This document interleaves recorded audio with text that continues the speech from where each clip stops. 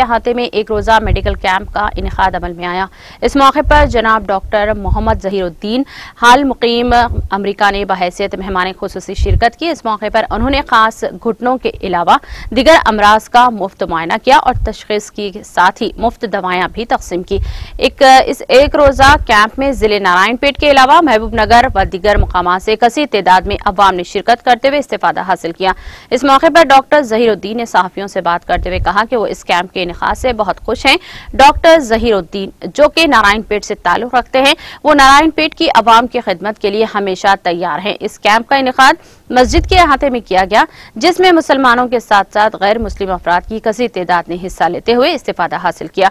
इस कैंप में तकरीबन 200 से ज़्यादा अफराद की मुफ़्त तशखीस की गई और दवायां भी मुफ़्त तकसीम किए गए। इस मौके पर doctor Nooruddin, doctor Mohammad Asif, doctor Mohammad Yusuf Taj, doctor Rahmatullah, Mohammad Hussain के सैयद ताहिर और अतीकुर रहमान, मोहम्मद ताहिर, मोहम्मद यूसुफ के अलावा दीगर मौजूद थे।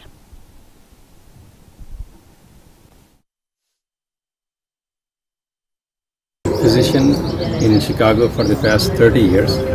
तीस साल से वहाँ रह रहा हूँ। मगर मैं इस वतन का बाशिंदा हूँ, यहाँ रहने वाला हूँ। और मैं हर वक्त जब भी आता हूँ तो मैं अपने लोगों की खिदमत करना चाहता हूँ। मुझे फ़र्क नहीं पड़ता कि हिंदू हो, मुसलमान हो, क्रिश्चियन हो, ईसाई हो, जो भी हो, मैं इंसान को इंसान समझता हूँ। और यही समझ बहुत बड़ी चीज़ है।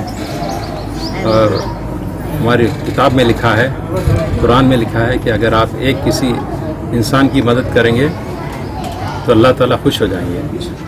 और किसी एक इंसान की जान बचाएँगे तो it is like saving the whole mankind saving one person is like saving the whole mankind हमारे मुसलमान होने का फ़र्ज़ है कि अगर हम जान बचाएँगे तो वो पूरी दुनिया को जान बचाने के बराबर है।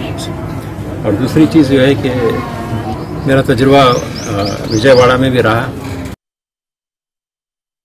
टीटीवी न्यूज़ यूट्यूब चैनल को सब्सक्राइब करिए लाइक करिए और कमेंट करिए। और हाँ प्रेस द बेल आइकॉन तो एवरी अपडेट के लिए थैंक यू सो मच